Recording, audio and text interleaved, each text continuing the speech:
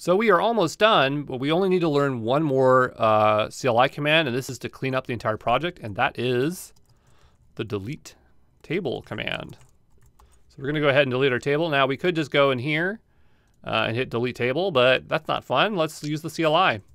So we're going to go delete table, and we'll look at the example. I think it's just as simple as that. Yep, it's that simple.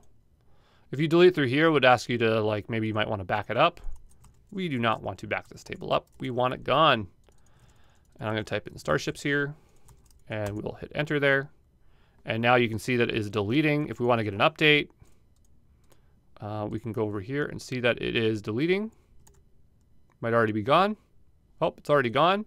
And if it was taking time to delete, we could use the describe command to give it a look here. And we can see that nothing is being returned because there is no longer a table. So there you go. That is the DynamoDB run through. Um, if you have more time on your own, you might want to try to set up a DynamoDB stream.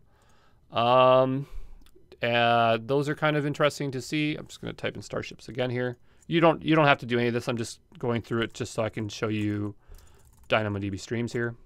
Ship class, uh, registry. So DynamoDB streams, once this table creates, we'll give it a second. If you want to set those up, it's under under triggers. You create a trigger, you'd create a existing function. Um, and the idea here is whenever new records come into the database, it will call that um, that Lambda function. And then from that Lambda function, you can then send it to wherever you want. Generally, you'd send it to Kinesis Firehose or some Kinesis service, but that's just a way to react to data in here. But yeah, this is outside the scope of the developer associate. It's uh, kind of a stretch goal uh, if you want a little personal project to do. But our table is deleted. I'm just going to go delete it here. And you can see that it says create a backup before deleting. We're not going to do that. Um, but yeah, that's DynamoDB there. So there you go.